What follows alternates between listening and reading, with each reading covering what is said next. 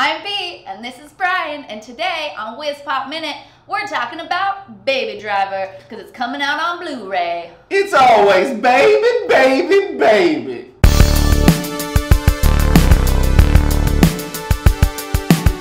The surprise hit of the summer was Baby Driver. It was number one its opening weekend. It got released earlier than expected by Sony because it did so well at South by Southwest. And now it's carrying that momentum right into the Oscar season with its release on Blu-ray today. I'm gonna pick it up and I love it. What did you think, Bea? I absolutely adored that movie because one, it's fun. It's an Edgar Wright movie, so it's amazing. But it's Edgar Wright with a car. And it's got a killer soundtrack that almost makes it the first car chase musical? I, I mean, I would say it's or at very least like a music video because it's like all of the scenes are cut exactly to the beats of the different songs that he picked for it. Edgar Wright talked about that very thing at an event last week What? to promote the Blu-ray, and it goes into into it in some of the bonus features of how this really was something that had to be staged by the second because each chase scene was choreographed to the song mm-hmm. long before it ever got anywhere near shooting. Yeah, and Kevin Spacey surprised us. That was awesome too. I'm super jealous of that. Like, I want to be in the room. I saw your picture of him and I was Oh, like, yeah. I want to be in the room with Kevin Spacey. Um, Kevin Spacey, I was just like, that's the president.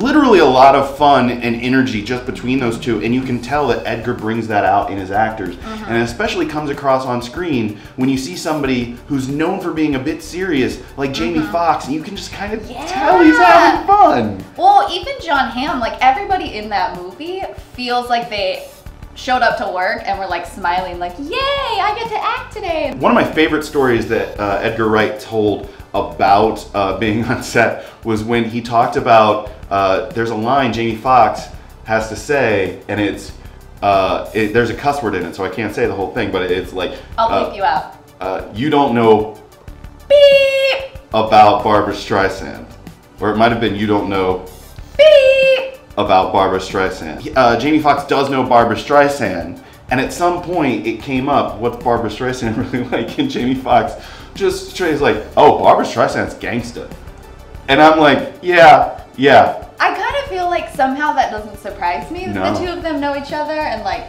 get along. Like, Oh, I just yeah. feel like that makes sense. So Baby Driver is a lot of fun, and Edgar Wright is a great filmmaker. Uh, pastiches is a, a fine line.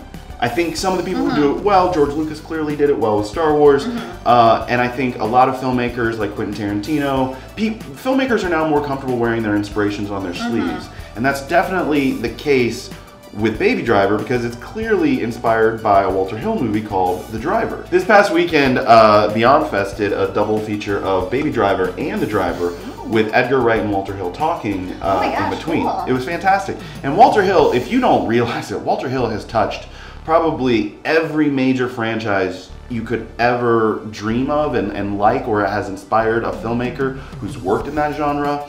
Um, he wrote the original draft of Alien. He wrote uh, and directed Warriors. He wrote and directed Streets of Fire. And it's nice to see his movies finally getting a lot of the respect they deserve. Driver originally tanked when it was released in 1978. And it's and Edgar Wright called it a quintessential LA film, and it very much is. It's uh, very much that nighttime LA shot that everybody thinks of uh, when they think of an LA film. Walter Hill said specifically that uh, creators don't work in a vacuum and everything is connected.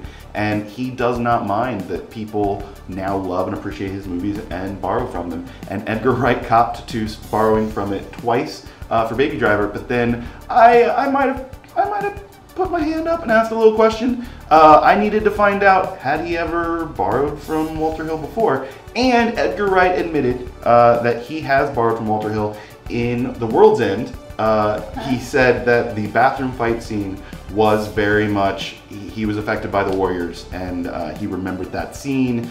And while he wasn't trying to exactly copy it, he was trying to emulate the feeling of trying to survive that bathroom. So I love Baby Driver. And I loved Baby Driver.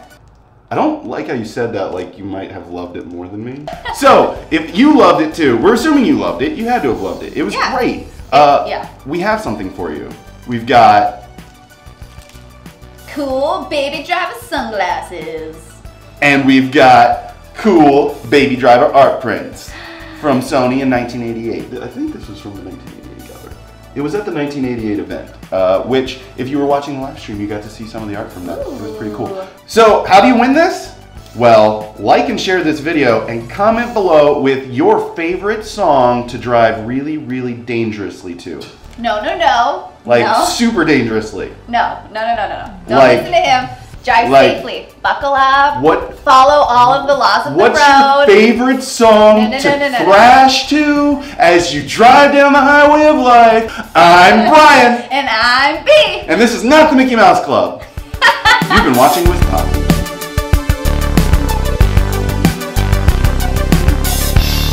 Click here for our latest WizPop and click here for more trailers.